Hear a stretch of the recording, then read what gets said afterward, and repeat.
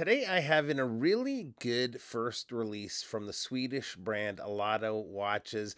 The watch is the Arvet, which translates to legendary in English, and it's one of those watches that ticks a lot of the boxes we want to see in a good everyday, sporty, but at the same time dressy watch. So it's a very versatile watch. Big thanks to Peter, the owner of the brand and designer of the watch, for sending this in for a few days for us to check out. So let's do just that and take a look at the watch. So these will be coming out late May by way of a Kickstarter campaign. They're going to be available in three colors. There is the black with gold gilt I have here today. There's a really nice looking blue version and a burgundy that looks sharp too. There is a stretch goal with at least one other color option possibly coming as well. So the watch is drawing heavily on that vintage styling, but the owner Peter has a background in civil engineering and architecture. He was inspired by the Reuleaux triangle, which was invented by Franz Reuleaux and is used in things from architecture to car engines. It's a curved triangle with a constant width no matter where you're measuring the diameter. On the watch, they're using a concave version of it in a few different parts of the design, including the markers at the 3, 6, 9, and 12. The dial on the watch has two layers. The center layer has a really fine guilloche pattern that looks great. We have Alato printed up top and Arvet automatic with the water resistance down on the lower section. So solid water resistance of 100 meters for a watch like this.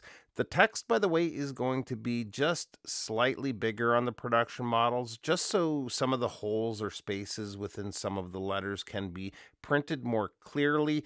On the outer raised section of the dial is the applied markers, and those triangular markers I think look pretty cool.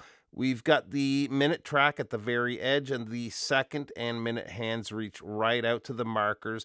The hour hand just to the edge of the inner dial, so all the proportions are spot on, and it's a really good dial layout overall. The owner also has mentioned to me, though, the tip of the minute hand will be just a bit wider to allow for more lume. And speaking of lume, it is tops. They're using BGW9, and this is about as good as it gets for BGW9. It's as solid and even more so than a lot of divers out there. So A plus on the lume with this one.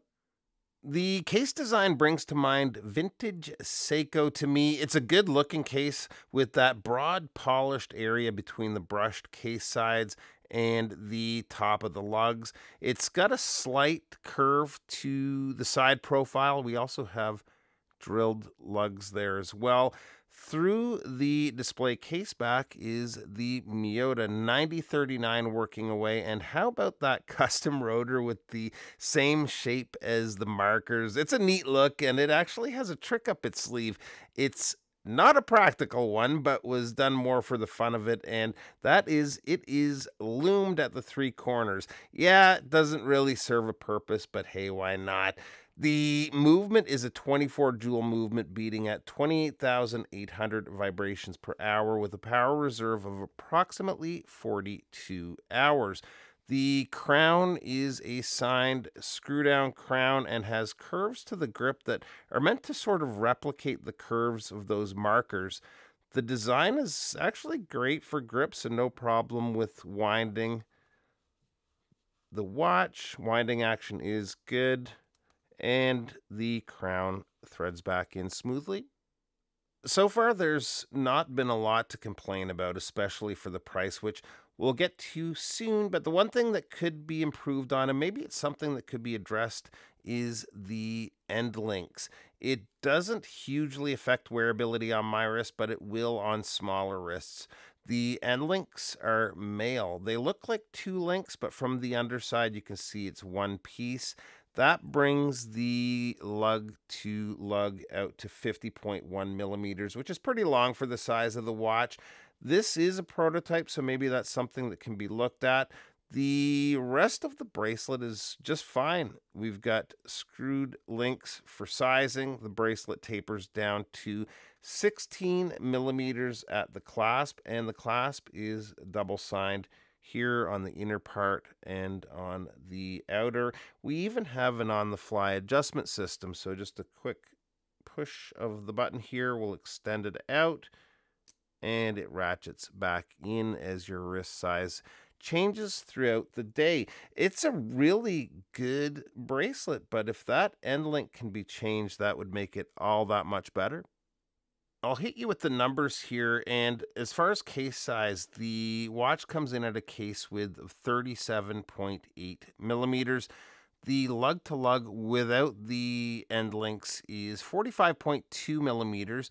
Lug opening is 20 millimeters and the thickness is 11.3 millimeters, including the sapphire crystal, which is treated with five layers of AR on the underside.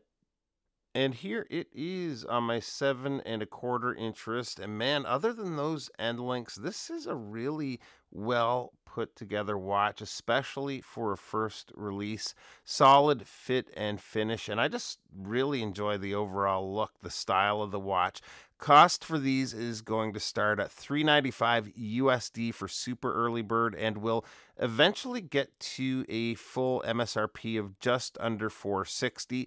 The pricing, especially under 400, is not bad at all. For a first release, again, I think they've done really well with it. So let me know what you think. I know the owner would love to hear some feedback on the watch. Link to their site and to the campaign will be in the description below.